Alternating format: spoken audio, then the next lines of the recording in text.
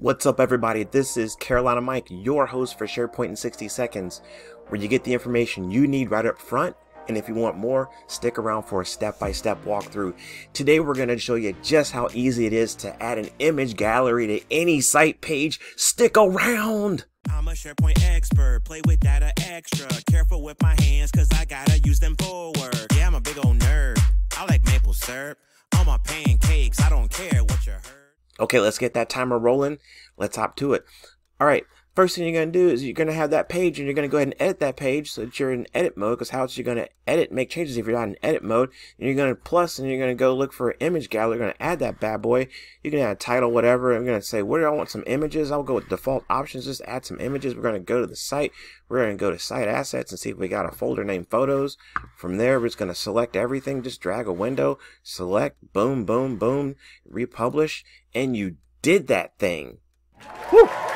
All right, let's just slow it down a little bit and talk about what we just did and dive into a whole bunch of nooks and crannies as it relates to image galleries. If anybody out there is still actually using them, um, I don't know.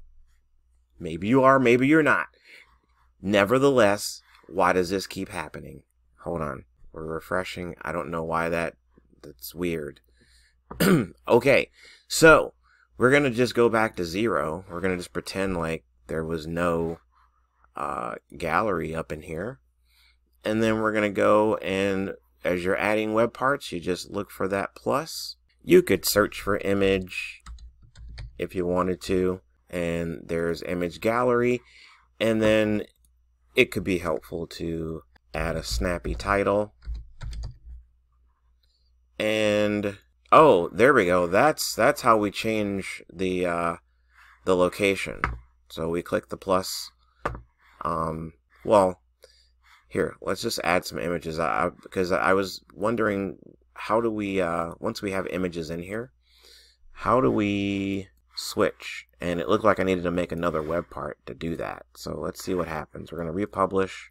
All right, and let's say we need you want a different set of photos here. We want to pick them. So can we go add like another, so I click add, and then let's say, oh, let's say I do that. Is it going to replace the other? Oh, it just added them. What if we want to get rid of some?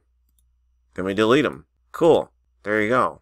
So add more. I'm going to go to the site and site assets and see is it going to add things multiple times if they already exist. I mean, yeah. So you'll have to be careful of that. Uh, but let's say you're not happy with this particular layout. Oh, before we leave this layout, with this particular layout, you can move things around. Uh, so there's a couple more things I want to show you here. You can move things around accordingly. Okay. Uh, you can add title and caption, but notice that uh, you're not going to see anything here. But you will in a minute with a different uh, template. And you can use some accessibility language for folks that are not able to see the image. Um, okay. And you can mark it as decorative if it's just curly border or something like that.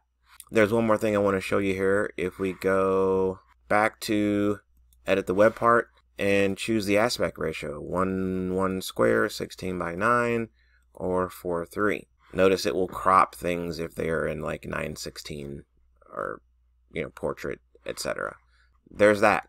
Now i think that exhausts all the different possibilities with the grid. So to recap we can move things around we can add accessibility language and we can change the aspect ratio. Uh, before we move away from here let's talk about the different option here for uh, select images or dynamically display images. So uh, let's say I had a doc library where I was storing photos and I wanted all of those uh, images from that library to be included here. Um, and if I change the files, you know, they would change accordingly.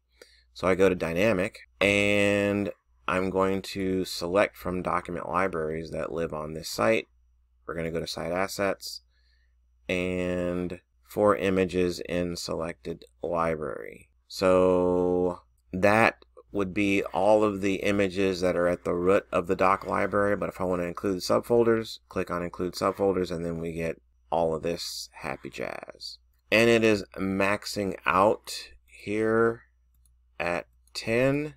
Oh, there we go. There we go. There we go. Look at that. We're just maxing it out. I think you just keep going. What can we put in? 100? Okay, looks like 30 is the max. Oh, wow. Look at that. That is amazing. So 40. Nope. There we go. Okay, now I think we have truly maximized all the different stuffs you can do with this uh, initial default grid.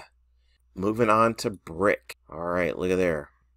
Very nice. We got this brick layout here. Okay, let's see what can we do with this one here. Uh, let's select an image. Can we move things around? Well, I am not seeing very much of anything that we can do. Not a lot going on here. Uh, you can change the number, uh, but it just lays it out in a brick pattern automatically. Nothing you can do. All right, next, carousel. Let's see what's going on with the carousel.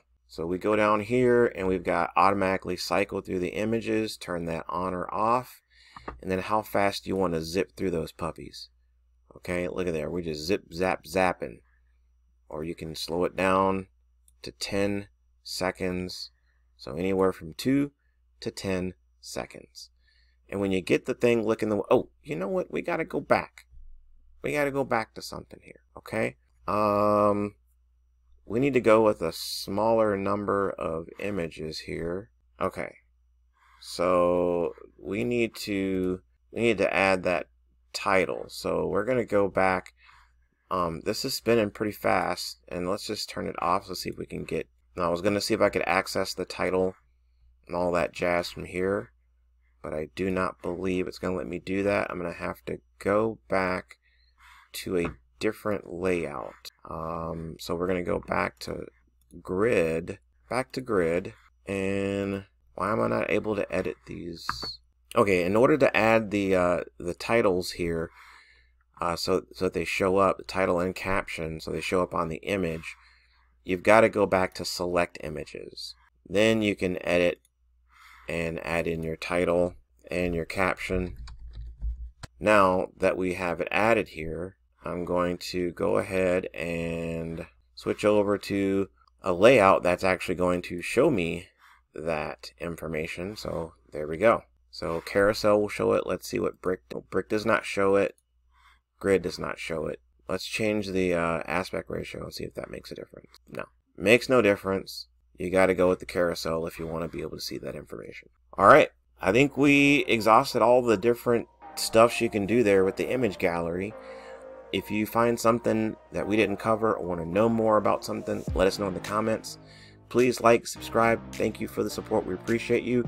Do the very best you can with what you got. And remember, SharePoint rocks, and so do you. We'll see you next time. I'm a SharePoint expert, play with data extra. Careful with my hands, cause I gotta use them for work. Yeah, I'm a big old nerd. I like maple syrup on my pancakes. I don't care what you heard.